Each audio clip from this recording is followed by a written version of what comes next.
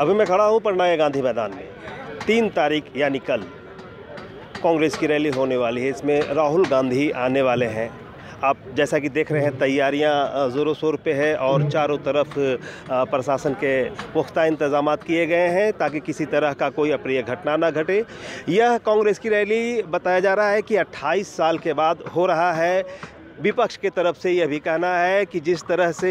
Congress party अब पटना में गांधी मैदान में रैली करवा रहे हैं, कहीं ना कहीं से यह एक आने वाले लोकसभा चुनाव में उनको अपनी पावर दिखाने का एक मौका है, लेकिन ऐसे में यह देखा जा रहा है कि जिस तरह से आप देख रहे हैं कि स्टेज जो है काफ़ी आधुनिक तरीके से बनाया गया है, एलईडी स्क्रीन लगाए गए हैं और यहाँ पर काफ़ी संख्या में आज एक प्रेस कॉन्फ्रेंस का किया गया था, इसमें कांग्रेस के नेता अपनी बातों को रखे थे और जिस तरह से यह तैयारियाँ आप देख रहे हैं कि चारों तरफ़ कांग्रेस के नेता आज से ही यहाँ जमावड़ा लगाए हुए हैं और यहाँ कांग्रेस की जो रैली है, यह अपने आप में एक बहुत बड़ा रैली कहा जा रहा है। लेकिन जिस तरह से बजट पेश किया गया है, उसको लेकर के यह भी अंदेशा लगाया जा रहा है कि राहुल गांधी के स्पीच में कहीं थोड़ा बदलाव भी आने की संभावना है। क्योंकि जिस तरह से बजट में किसानों को लुभाया गया है और किसानों को और गरीब तबकों के लोग जो हैं, उनको, ख़ास करके किसानों को जो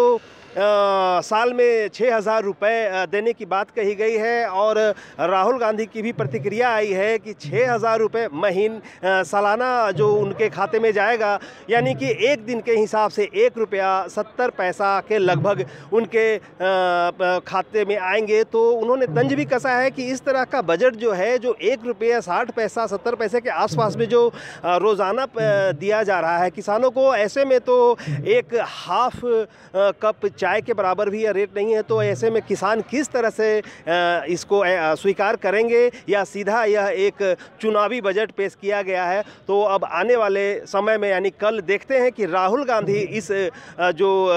सभा को आयोजन किया है, एक रैली कर रहे हैं, उसमें क्या कहते हैं और विपक्ष का उस पर क्या प्रतिक्रिया होगा? यह आने वाला समय बताएगा। पटना से पंजाब केसरी टीवी के लिए संजीव।